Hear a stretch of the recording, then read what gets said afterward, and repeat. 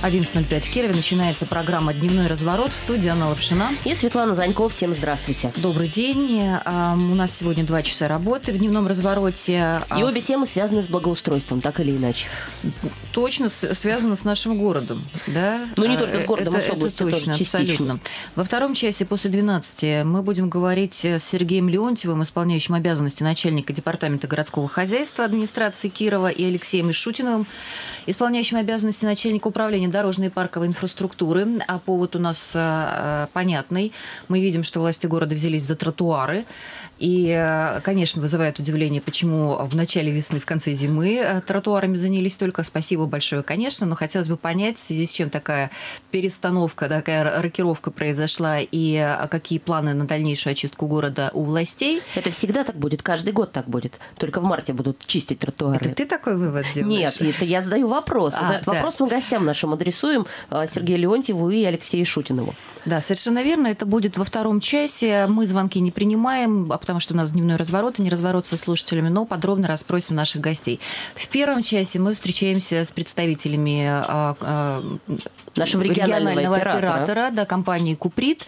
Дело в том, что компания Куприт начала а, активную работу уже с, там, с 1 января буквально 2019 года. Коллеги мне поправят, если я не права, по заключению договоров с юридическими лицами. И мы сделаем такой а, фидбэк а, назад. Примерно год назад здесь в нашей студии не один эксперт, а множество заявляло, что юридические лица не заключают договоры на вывоз мусора, в связи с чем а, серьезная недоплата получается а, за вывоз, а сбрасывают вот свой мусор в контейнеры, которые, обс- которые вот граждане просто оплачивают и, соответственно, они обслуживаются. Тогда говорилось, что это серьезно подрывает работу по вывозу мусора, и а, тогда говорили, что, конечно, нужно поднять всю базу юридических лиц, с ними активно работать, и когда был определен региональный а, оператор, вся а, была подготовлена работа для того, чтобы начать заключение договоров. Вот как идет это заключение договоров, кого конкретно касается а, вот э- эта схема заключения договоров, по каким тарифам она идет, мы сегодня эти вопросы будем задавать нашим гостям.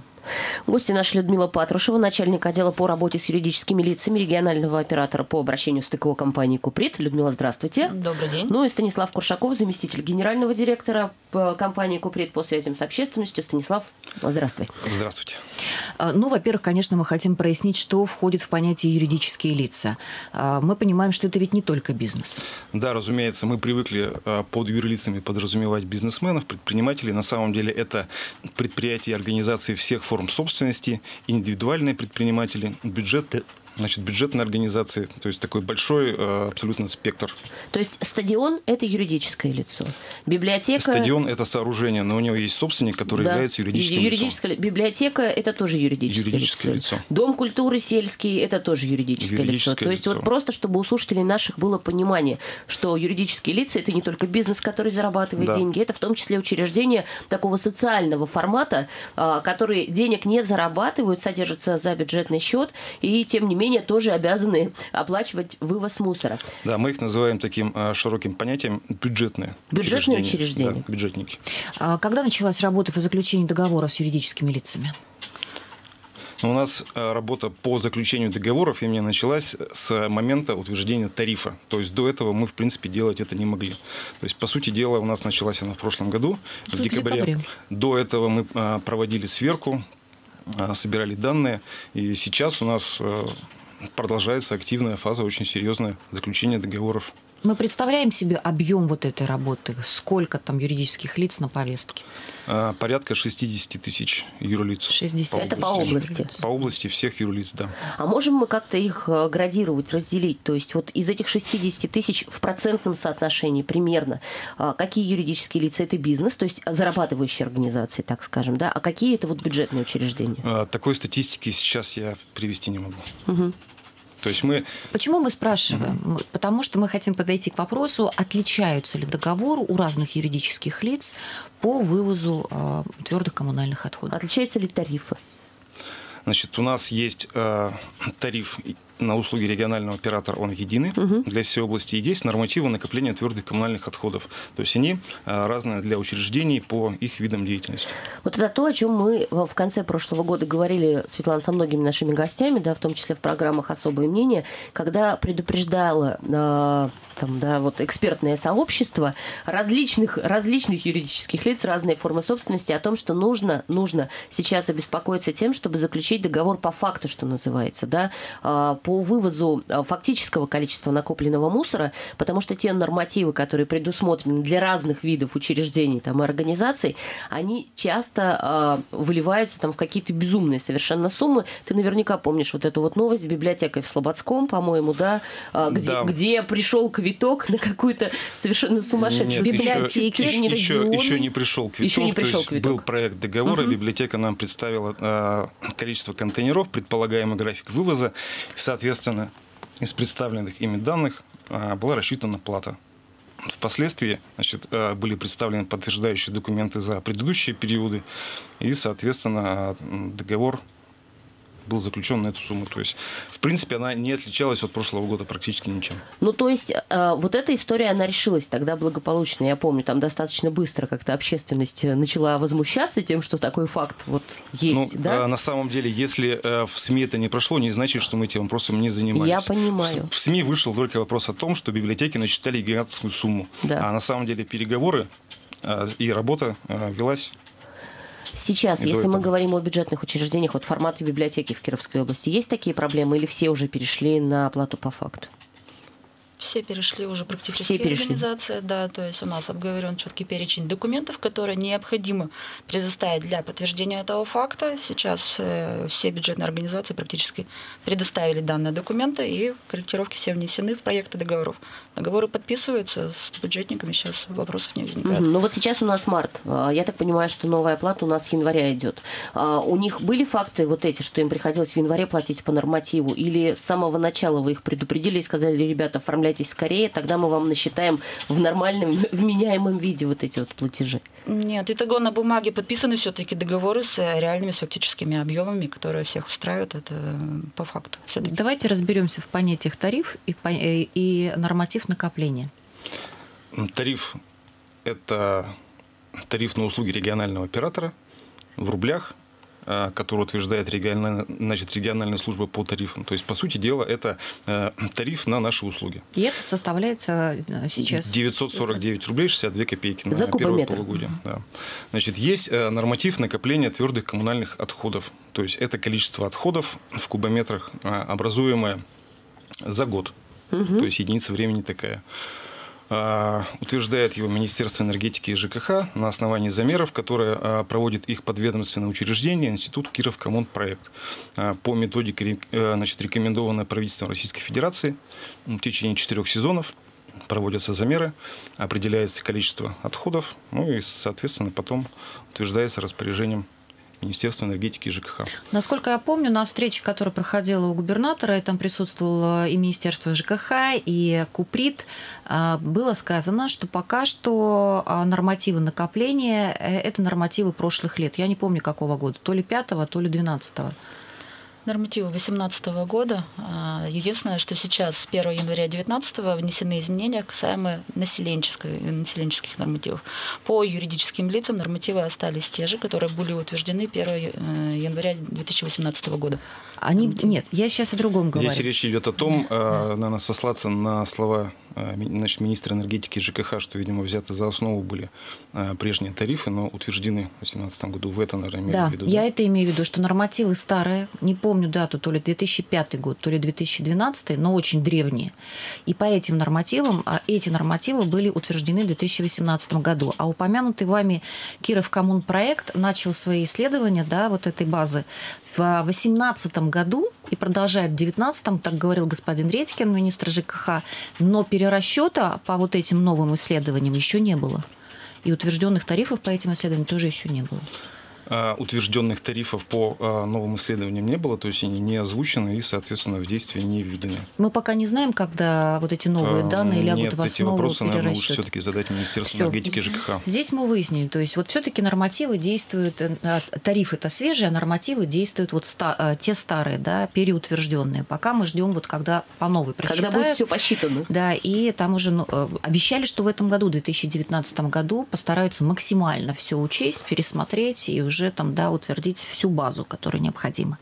Давайте вернемся э, снова к юридическим лицам. И если с бюджетными организациями понятно, что с ними со всеми перезаключен, а, а, перезаключены договоры, то здесь еще важно уточнить, вот, Людмила, вы сказали, что плата по вывозу мусора для этих учреждений практически не поднялась или... или, или Станислав вы- это, по-моему, сказал. Это я говорил конкретно о Про Слободской библиотеку, библиотеке да. имени Грина. Да.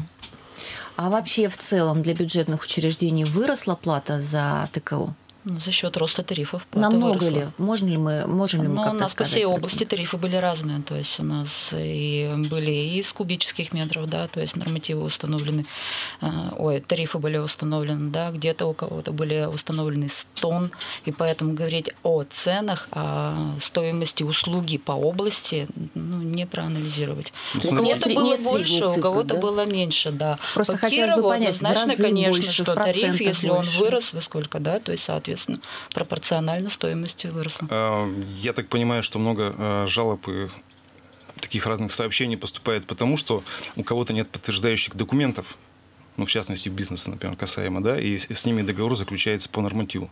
То есть в этой ситуации, да, Так, плата сейчас, вырастает значительно. сейчас мы сделаем небольшую полуминутную паузу, после разберемся со Станиславом Куршаковым, что такое подтверждающий документ. Продолжаем разговор. А, а, Заключается договор с юридическими лицами, а, региональным оператором по вывозу твердых коммунальных отходов Куприт. И у нас по этому поводу такая консультация онлайн с Людмилой Патрушевой, начальником отдела по работе с юридическими лицами рекоператора, и Станислав Куршаков, заместитель генерального директора по связям с общественностью компании Куприт. Ну вот, а, к а, сожалению, непонятно, это, наверное, нужно будет с конкретными ведомствами по этому поводу говорить, насколько серьезно в итоге выросла плата для а, бюджетных учреждений, а они разные, какие-то подведомственные Министерству культуры, какие-то Министерство образования, Министерство здравоохранения и так далее. А, И насколько для них это критично. В общем, это же бюджетные, бюджетные деньги, то есть, соответственно, бюджет по этим подразделениям, он должен учитывать вот эту плату, и она Разумеется. должна будет закладываться Да. и на следующий год. Я прошу прощения, перед перерывом просила Станиславу пояснить, что такое все-таки подтверждающие документы. То есть э, вот для бизнеса, для юридических лиц. Это что, А- какие-то а- а бумаги, давай- они как-то А посчитать давай сразу, должны а давай объем, сразу да? закончим вот эту историю, Хорошо. прежде чем перейдем к бизнесу. А, Потому что было сказано, что все бюджетники, они подтверждающие документы предоставили. Ну, учет, все там есть, они предоставили. Что такое вообще, в принципе, подтверждающие документы? Подтверждающие документы, ну, грубо говоря, это бумаги, которые подтверждают объем образования отходов за предыдущий период. То есть предыдущий год, может быть, позапрошлый год и так А далее. откуда эти бумаги у образователей отходов? Откуда они? Значит, у тех организаций, у кого были договоры на вывоз отходов, а, Ага.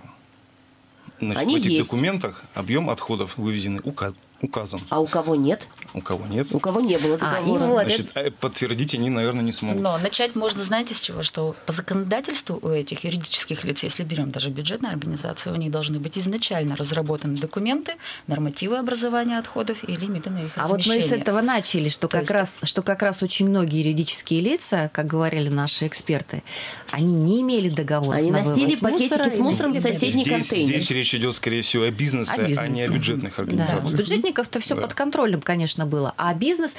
Выяснили ли вы, какое количество вот из этих 60 тысяч юридических лиц не имели договоров на вывоз мусора? Представляем До этой себе? цифры даже в процентном соотношении пока рано, говорю, потому что мы все еще заключаем договор. То есть о какой-то статистике еще говорить рано пока. Но вы видите, что есть и такая ситуация, и насколько она глобальна, что а, юрики не заключали, а, В юридические каком, лица не в каком- в заключали каком процентном договоры? соотношении вот из тех, кто к вам приходит заключать договоры, сколько тех, у кого были вот эти вот подтверждающие документы, а сколько тех, у кого не были? Можем сказать Ну, я считаю, цифру? что сейчас, наоборот, идут именно ответственные юридические лица, Пока что. которые действительно, да, и ранее имели договорные отношения, они сейчас идут, оформляют эти договорные отношения. То есть там процентов Лица- 95, наверное, с подтверждающими документами? Ну, не 95, но может 80, быть поменьше, вот наверное. Да. 80. Ну, ну, давайте остановимся на этой цифре, угу. да, все-таки. Потому что Это из тех, кто сейчас, уже пришел. Да, из тех, кто пришел, да. да. То есть они несут подтверждающие именно документы, если говорим о юридических лицах бизнес именно, да. То есть они все сдавали отчетность, и сейчас мы эту отчетность принимали, это и статистическая отчетность. То есть э, при наличии этих документов факт он был подтвержден, а, мы эти документы принимали. Но есть часть э, бизнесменов, да, юридических лиц, которые занимаются бизнесом, которые не занимались э, такими вещами, не оформляли документы на вывоз, как-то они его по-другому вывозили. Они сейчас обращаются с вопросами или они ждут чего-то? Нет, они действительно обращаются сейчас с вопросами, и э, мы предлагаем варианты именно при отсутствии подтверждающих документов заключать по нормативам. Они, конечно же, получается, задумываются о том, что а другого-то быть, нет пока может быть, был нет, смысл даже, раньше знаете, не сказал, скрываться да. и быть ответственным, да, юридическим лицом. И у него были уже подтверждающие документы, и он бы уже заключил договор на тех условиях, которые он бы нам уже да, предоставил эту информацию. Сейчас, конечно, они возмущаются, но... А, ну, поезд-то ушел, то есть обратно да, ты не отыграть. Закон поезд, говорит все. о том, что ушел. все, у нас да. даже сейчас, не имея договорных отношений, мы понимаем, что они, мы сейчас уже с ними Я работаем. именно об этом и хотел сказать. По то есть у кого-то возникают вопросы, а у кого-то возникают претензии. Но претензии-то нужно, наверное, только в свой адрес, не в наш. Слушайте, ну как-то для них решить-то вопрос А, с ну вот наименьшими потерями сейчас, сейчас возможно или нет? Вот у них нет, положим, там, у Подтверждающих этих нет документов. подтверждающих документов. Они Для раньше них были нехорошие, а Один- теперь решили стать хорошими. неответственные. Для них один путь сейчас, прямо сейчас, им необходимо заключить договор, и это только по нормативам. Сейчас они могут сделать.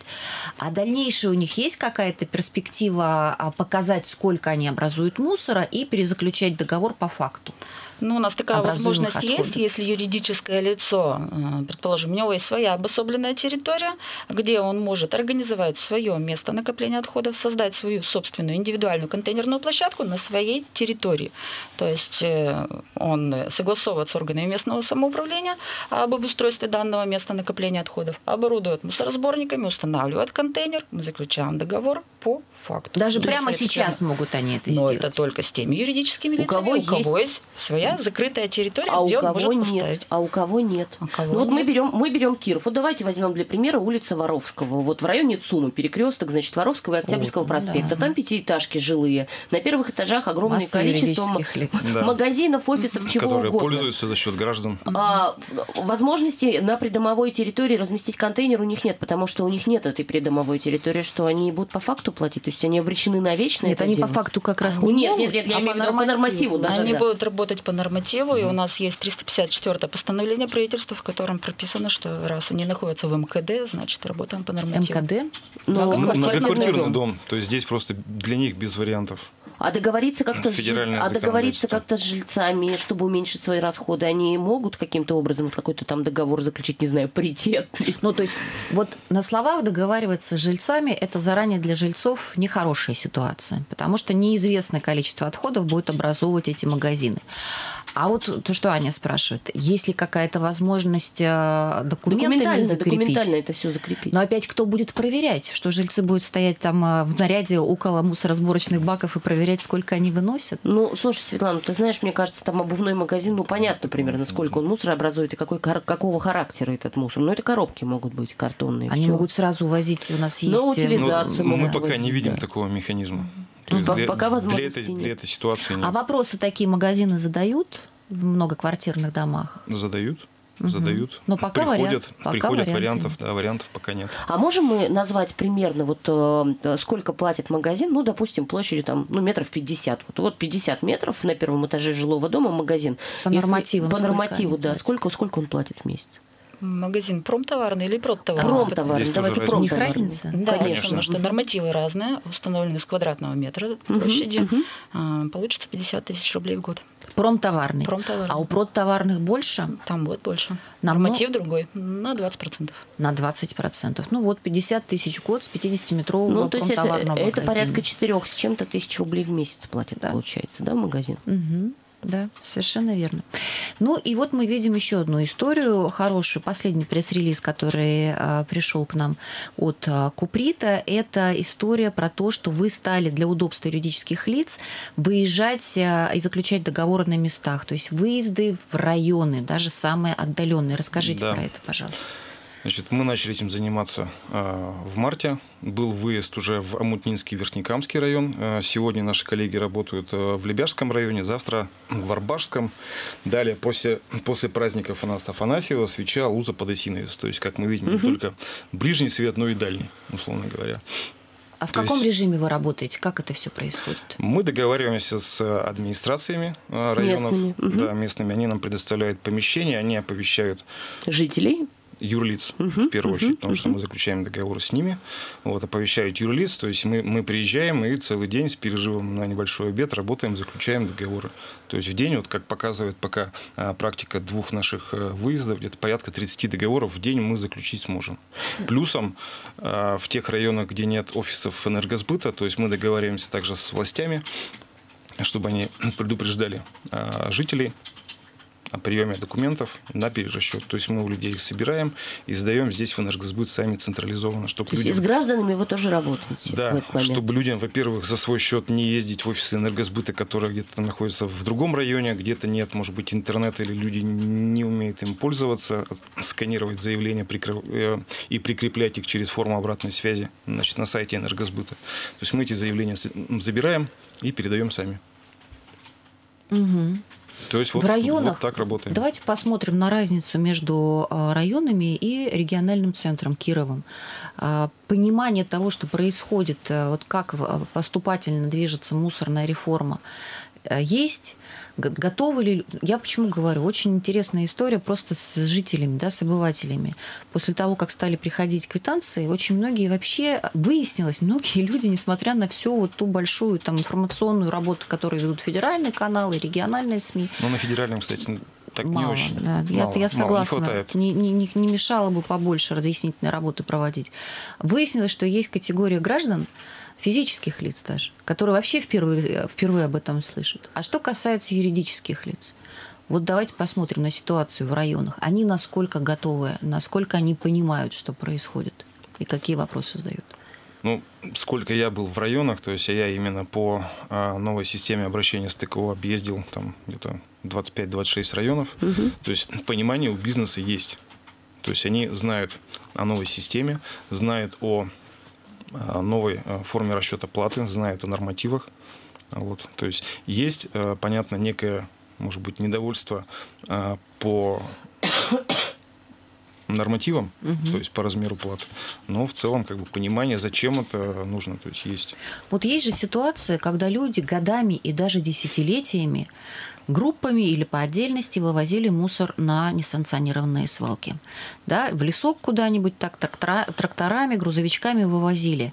А, Сложно одномоментно, и даже там, несмотря на то, что год к этому там шла подготовка довольно активная, сложно одномоментно от своих вот таких привычек избавиться.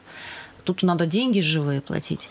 А, Сталкиваетесь ли вы с мнением, что да ничего, и так сойдет, мы потих- вообще как-то вам сообщают об этом, как-то власти с этим работают? Ну, знаете, прямых писем, да, что я отказываюсь платить. И повезу в лес. буду, да, Они, значит, конечно, повезу в лес. Конечно, никто в этом не сознается. Но э, реплики, дескать, я платить не буду, как возил раньше, так и буду. То есть они есть. Вот это ожидаемо было на самом деле, что, конечно, сложно будет переломить где-то, может быть, даже сознание в этот момент. Но и тогда что вы отвечаете? Какие сейчас а, меры а, к юридическим лицам, не заключающие договоры, могут быть предприняты? Они несут ответственность. Вот приходит юрлицо и говорит, нет, я не буду. Я еще подумаю. Вот прям сию минуту. Обязанность заключить договор с региональным оператором предусмотрена для всех предприятий, организаций всех форм собственности и для ИП. Поэтому они заключить договор обязаны. А если не А заключили? если не заключили? То есть Значит, они, они получается, что копят долг, наступает? Ну, конечно. а дальше что? Это коммунальная услуга. Дальше при э, просрочке, если я значит, не ошибаюсь, больше, чем три месяца, то есть региональный оператор будет в принудительном порядке Взыскивать. взы- взыскивать, конечно, это коммунальная услуга за э, долги. А как То происходит будем- взыскание? будем взыскивать. Через суд? В судебном порядке, то есть обычным. Через суд, а потом Как приставы есть. А потом приставы, а потом Да. арест на счета. Да.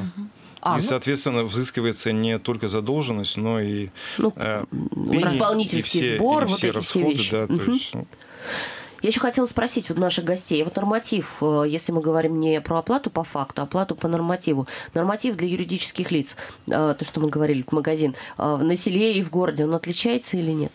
Нет, То есть нормативы магазин, едины для- магазин в селе Норма- 50 метров будет платить ровно столько же, сколько магазин в Кирове, вне зависимости нормативы от... едины. Здесь, от прибыли. здесь прервемся. Это важный вопрос. Прервемся после короткой рекламы, его обсудим. Продолжаем разговор. Мы здесь с нашими экспертами из э, компании Куприт, региона- представителями регионального, э, регионального оператора по вывозу твердых коммунальных отходов, Людмила Патрушева, начальник отдела по работе с юридическими лицами регионального оператора, и Станислав Кушаков, заместитель генерального директора э, по связям с общественностью компании Куприт. До перерыва э, мы хотели поднять тему э, вот как раз тех самых нормативов, а насколько они, насколько они подъемны для разного рода тех же магазинов. Потому что снова возвращаемся к нашим экспертам, которые хорошо знают повестку муници- муниципальную районов, и они говорят, что для районных магазинов, для райпо а, вот эти нормативы неподъемные. И прочат закрытие вот этих магазинов массово в течение этого года. Обсуждалась ли эта проблема, вообще говорят ли они, и стоит ли она того, чтобы о ней говорить и как-то решать этот вопрос? Ну, вот смотрите, мы, как представители регионального оператора, э, нормативы утвержденные принимаем в работу. То есть мы их не обсуждаем. И должны для нас, следовать им. для нас это, да, для нас это нормативно-правовой акт, руководство к действию. И тариф регионального оператора, и норматив. Мы их взяли, мы по ним работаем. Но, разумеется, о том, а, какова ситуация в районах, как а, те или иные юрлица и ИП а, к этому относятся, то есть и нами в том числе доносится до профильного министерства. Министерство ЖКХ. Да, Так. вот. Поэтому, может А они быть, должны там принимать решения. может быть, этот вопрос, да, все-таки лучше адресовать им. Так, Станислав, а все-таки вот поясните, пожалуйста, а, а, переиграть норматив, как-то его там пересмотреть именно для сельских э, магазинов, там, да, а, это вот реально на, на уровне региона сделать? Или это надо через федералов решать? Нет, это Нет, мы- региональная мы, история. уже говорили, то есть у Да. нас все замеры проводятся здесь, в В Кирове, регионе. институтом, да, Это- Киров проект утверждаются региональным а, министерством. Вот в том-то А в и какие дело. сроки это может В произойти? том-то и дело, что вот как раз должны были пройти замеры а, по разным э, секторам. Нам здесь с тобой рассказывали об этом. А, Нам, нам об этом рассказывал член общественной палаты э, э, Иван Радыгин. Радыгин. А, И по этим замерам должны тарифы э, измениться. Но замеры проходят, но пока изменений не было. И я не знаю, дошли ли до районов и райпо. Этот вопрос, конечно, нужно задавать Игорю Юрьевичу Редькину. но- Министру ЖКХ. Министру Мгм. ЖКХ. Но кроме министра ЖКХ, мне кажется, здесь надо еще задавать вопрос и а, тем профильным министрам, которые занимаются непосредственно бизнесом и предпринимателями. Ну, потому что это тоже их касается напрямую. Если будет закрываться бизнес, будут зак- закрываться а, районные магазины, это серьезным образом скажется а, на населении, да, вот этих там поселков, сел и малых городов, в которых они находятся. Да это и на бюджете скажется того или иного И муниципального я вот образования. сейчас, кстати говоря... Я думаю, что они мониторят ситуацию, как бы в курсе. Мы, всех. мы спросим, пока что, честно говоря, не слышали. Мы пока слышали тут вопросы, которые возникали у наших экспертов прямо здесь, а, в нашей студии. Но этот вопрос, конечно, надо задавать. И я думаю, что все на Министерство ЖКХ скидывать не надо. Вот если нет жалоб, то и что, собственно, реагирует на Министерство ЖКХ? А вот если есть, мне кажется, Но тогда я, между прочим, не, не видела пока вот так Хотя, вот в публичном поле знаю. информационном а, сообщений о массовых жалобах а, бизнесменов из муниципалитетов. Вот у нас... На, на- поле на непо- соглашусь. на неподъемные совершенно там тарифы на вывоз Вот у мусора. нас Вот есть, этого я не видела. есть э, следующая тема с тобой. Это Киров Коммунпроект, Министерство ЖКХ и, например, э, бизнес-омбудсмен Кировской области, которые бы рассказали, как сейчас вот эти новые замеры могут сказаться на изменении тарифа. Это хороший вопрос. Ну, потому Но что мне, мне, например, не очень понятно. Ну, я понимаю примерно там магазин в Кирове, да, он может, наверное, себе позволить 4000 рублей в месяц платить за вывоз отходов, хотя тоже не уверен. Но маленький магазин ну, такой же на селе, который там торгует всем, начиная от продуктов, заканчивая обувью, ту же самую сумму платить я не уверена, что сможет. А вот, способен. кстати, да, кстати, между прочим, магазины же на селе, они смешанные, Там же зачастую не только не только население. Там и продукты, Магазины со смешанным товаром, продуктовые, промышленные. У них третий какой-то То есть вопрос, какой норматив будет э, да. да, для них здесь норматив. применяться? Для них норматив какой?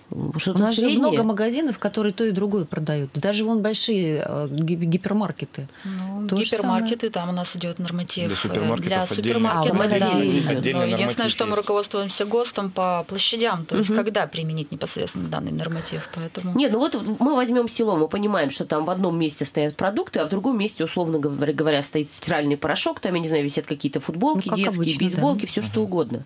А у них какой-то усредненный тариф, то есть это что-то среднее между продуктовым и промтоварным, или это считается по максимуму или по минимуму? Как? Ну, все-таки смотрим от состава, да, угу. от товаров, которые продаются, если все-таки больше э, превалирует, например, там, продуктовый, значит, все-таки у них... Они платят по продуктовому нормативу. Да. Да. Совсем недавно, буквально э, в конце прошлой недели, вышел материал с отчетом э, Общероссийского народного фронта по тому, как движется реформа по просторам нашей Родины.